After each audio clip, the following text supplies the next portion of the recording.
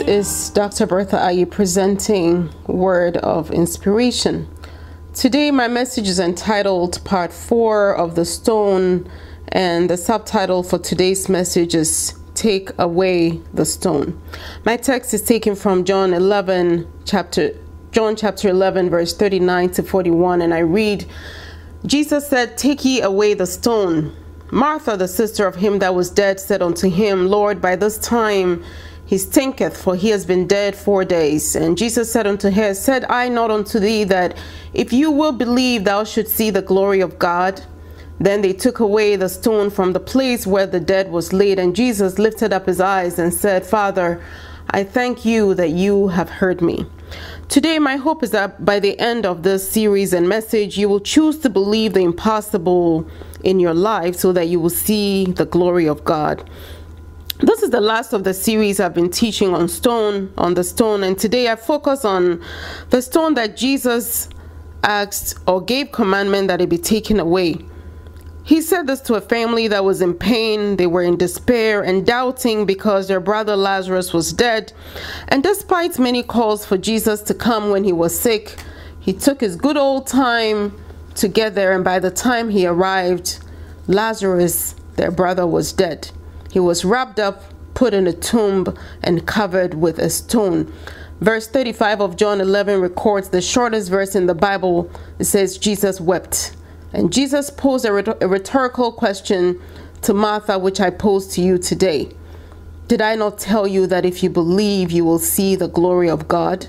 Today, would you believe? Would you believe for God to raise up something in your life that is dead to the point where the situation stinks? It smells bad. Or as the King James Bible puts it, it stinketh. Let us read the account together. John chapter 11, verse 1. Now a certain man was sick named Lazarus of Bethany, the town of Mary and her sister Martha. Verse 2 It was that Martha, it was that Mary which anointed the Lord with ointment and wiped his feet with her hair, whose brother Lazarus was sick. Therefore his sister sent unto him, saying, Lord, behold, he whom thou lovest is sick. When Jesus heard that, he said, This sickness is not unto death, but that the glory of God but for the glory of God, that the Son of God might be glorified thereby. Now Jesus loved Martha and her sister and Lazarus. And when he heard therefore that he was sick, he abode two days in still in the same place where he was. Verse 14. Then Jesus said unto them plainly, Lazarus is dead. And I'm glad for your sakes that I was not there to the intent that you may believe. Nevertheless, let us go unto him. Verse 21. Then said Martha unto Jesus, Lord, if you had been here, my brother had not died. But I know that even now, whatsoever you ask of God, God will give it to you. And Jesus said unto her, Your brother would rise again. Verse 33. When Jesus therefore saw her weeping, and the Jews also weeping, which came unto her, he groaned in his spirit and was troubled, and said, where have you laid him? Then they said, Lord, come and see. Jesus wept. Then said the Jews, Behold how he loved him. Verse 39 Jesus said, Take ye away the stone. Martha, the sister of him that was dead, said unto him, Lord, by this time he stinketh, for he's been dead four days. And Jesus said unto her, Said I not unto you that if you would believe, you should see the glory of God. Then they took away the stone from the place where the dead was laid. And Jesus lifted up his eyes and said, Father, I thank you that you've heard me. And I knew that thou hearest me always, but because of the people which stand by, I said it, that they may believe that thou hast sent me. And when he had thus spoken, he cried with a loud voice, Lazarus, come forth. And he that was dead came forth, bound hand and foot with grave clothes and his face was bound about with a napkin. And Jesus said unto him, unto them, Loose him and let him go. Then many of the Jews which came to Mary and had seen the things which Jesus did believed on him. I want us to take a, a note of a few things about this passage. First, verse 1 and 5 tell us Jesus loved Martha and his sister and Lazarus.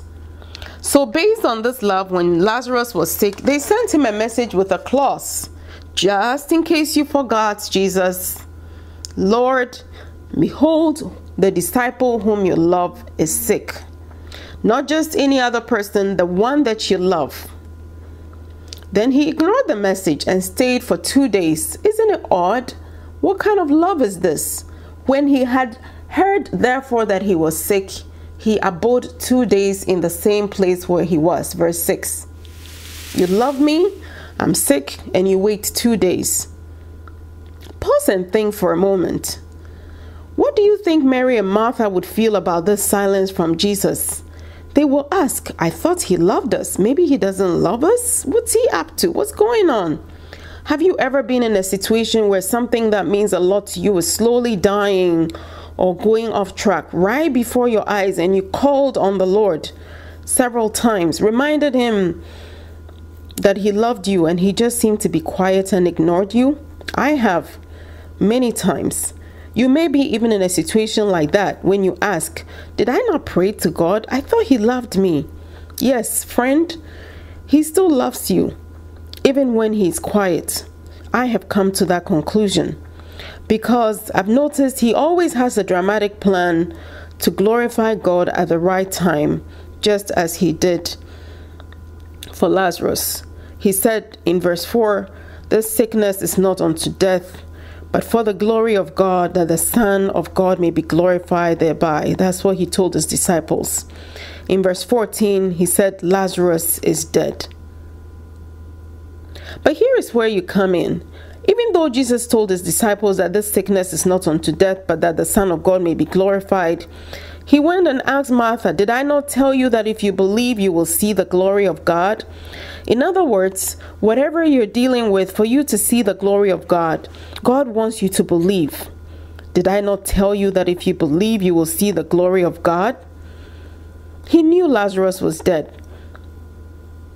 In the same way, God knows the situation in your life that you've been calling Him about, but seemingly appears dead right now. Jesus knows when it died. In fact, he knew when it was deteriorating and he knew when it died. How do I know this? Notice how Mary and Martha sent messengers to Jesus when Lazarus was sick, and he chose to stay two days. During this time, he was still carrying on dialogue with his with his disciples. In fact, when he was ready to go, they tried to tell him, If you go back there, it looks like they're trying to stone you. Why do you want to go back to the same place. Verse 8, he said, Master, the Jews of late sought to stone you. Do you want to go there again, back to Judea?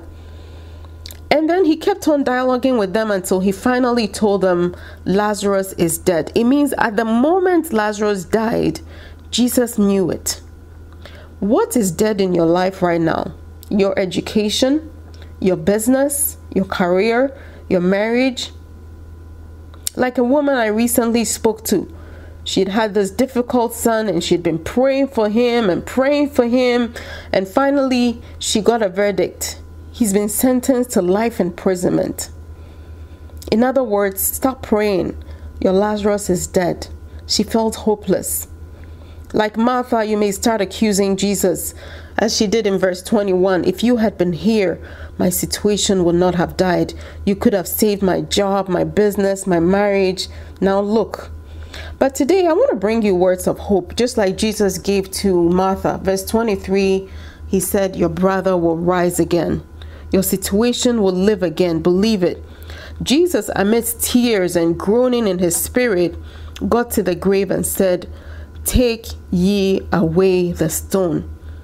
Martha started to argue, to question him. Lord, my brother has been dead four days. He smells bad. The place is going to stink. And in verse 40, Jesus told her, Did I not tell you that if you believe, thou shouldst see the glory of God? Finally, Martha gave in and obeyed the instruction. Jesus asked Lazarus to come forth. Arise from the dead. And Jesus said, Lose him and let him go. Today, if there's any situation in your life that appears dead, Maybe God is giving you an instruction. I don't know what you're dealing with, and I don't even know the stone that is covering that situation that stinks. I just know that God has been speaking to you. Something that doesn't make sense. It doesn't appear, it defies logic. He's telling you to take away the stone from something that stinks. But go ahead and do it because as you do it, it's only after you've taken away the stone that Jesus can shout and say, Lazarus, arise. Take away the stone. And after the stone was removed, he gave instruction, Lazarus, arise. And the Bible says, And Lazarus came forth, bound with his feet and hands and everything. And Jesus said, Lose him and let him go. Lose him and let him go. What instruction have you been receiving in your spirit? Is it a phone call you need to make again? Do you need to reapply to that job? Do you need to go back to that school? You would have your own take away your stone instruction. Today, Jesus is challenging your logic just as he did to Martha. And he will let that situation be loosed and let go. Did I not tell you that if you believe, you will see the glory of God? Let us pray. Father, we thank you that situations that you sometimes you allow situations in our lives to get to a point of desperation and then they die right before our eyes, even though you love us, just so we can see your glory. But to see your glory, we need to believe. Teach our hearts to believe. Teach our hearts to believe. Today I declare over every dead situation in your life that needs to rise up and be let loose, that it will rise up and let loose. The Bible says, Whatsoever you bind on earth is bound in heaven, and whatsoever you lose on this earth is loose in heaven. Today we let some situations loose, and we declare to those things those dead things to come up and be loose in the name of Jesus. And we say this because you are our Father who art in heaven. Hallowed be your name, your kingdom come, your will be done on earth as it is in heaven. Give us this day our daily bread and forgive us our trespasses as we forgive those who trespass against us. And lead us not into temptation, but deliver us from evil. For thine is the kingdom, the power, and the glory forever and ever. Amen. Today the Lord bless you and keep you. And I want you to enjoy the song by Tamela Mann that says, Step aside and let God do what He needs to do in your life. And growing up, I remember I lived near an apostolic church, and one evening, this large big church sang this song that sat in my spirit and has never left me. It goes like this I tell you that if you believe, you would see the glory of God. You will experience the power of God. You will see the glory of God. I tell you that if you believe, you will see the glory of God. Enjoy the song by Tamela Mann.